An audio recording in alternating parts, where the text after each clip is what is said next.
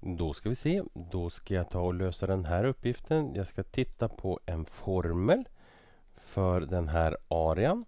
Så jag skriver här area. Den skulle betecknas som y är lika med. Och så tänker jag vad är det jag har? Jo, jag har den här plåten som är 12 decimeter.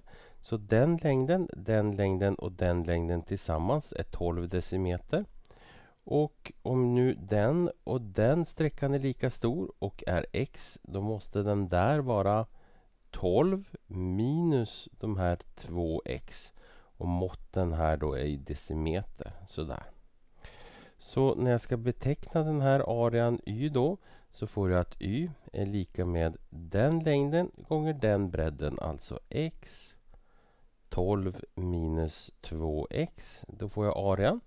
Och det här kan jag då multiplicera in x så får jag 12x och så minus 2x i kvadrat. Sådär.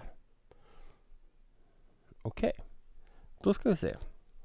Ehm, då ska jag titta också på definitionsmängd och värdemängd. Jag kan börja med definitionsmängd.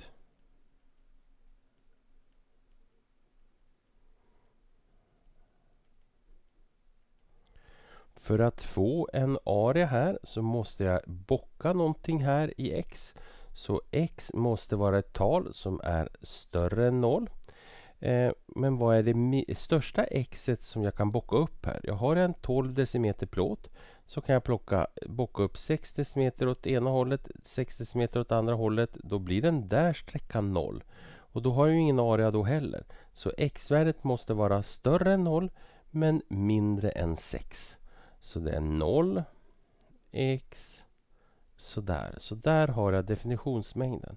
Värdemängden här då, den blir ju lite, lite klurigare. Men här kan vi utnyttja oss av det här att vi har ett andragradsuttryck här. Vi har 12x minus 2x i kvadrat. Och jag vet att x-värdet här, det är 0 här. Så här är det 0. Och så sen här någonstans vid 6 där är det också 0. Så funktionens värde är 0 där och funktionens värde är 0 där. Och här har jag y-axeln. Och hur ser en sån här andra grads funktion ut? Ja, jag har negativ x2-term och en negativ x2-term betyder att jag har en sur gubbe. En sur gubbe så har jag en ledsen mun, alltså en maximipunkt. Och den här andra gradskurvan den kommer att se ut på det här sättet. Nu ska jag ta och försöka skissa det här någorlunda snyggt. Vi kommer att starta där. Den kommer att gå uppåt så här till något högsta värde och så sen gå neråt. Och den kommer att se ut så här jämn. Den kommer att vara symmetrisk så. Och det här största värdet det kommer jag att få mitt emellan de här två värdena när y-värdet är noll. Så här då ska se om jag får till det här med en streckad linje här. Eh, någonting sånt här kanske. Så. Här. Och där är x-värdet 3. Det är mitt emellan de här två. Och eftersom att jag vet det så kan jag räkna ut största värdet här.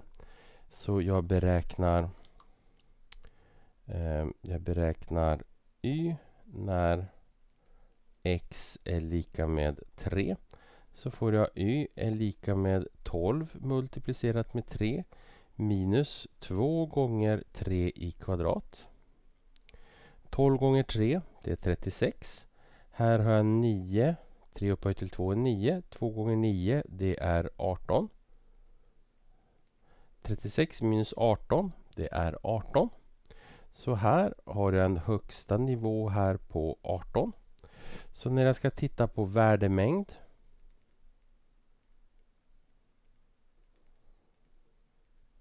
så är det lägsta värdet det måste ju vara ett värde som är lite mer än 0. Vi kan ju inte 0 som x kan ju inte vara med. Och vi måste ju ha en area som är någonting. Så eh, arean måste vara större än 0. Så jag skriver 0 här. y större än 0. Och däremot så kan y vara ett värde som är mindre eller lika med 18. Det största värdet jag kan få det är 18. Så den borde se ut så där då. Så värdemängden y är större än 0 och y-värdet är mindre eller lika med 18. Och då är jag klar med den här uppgiften.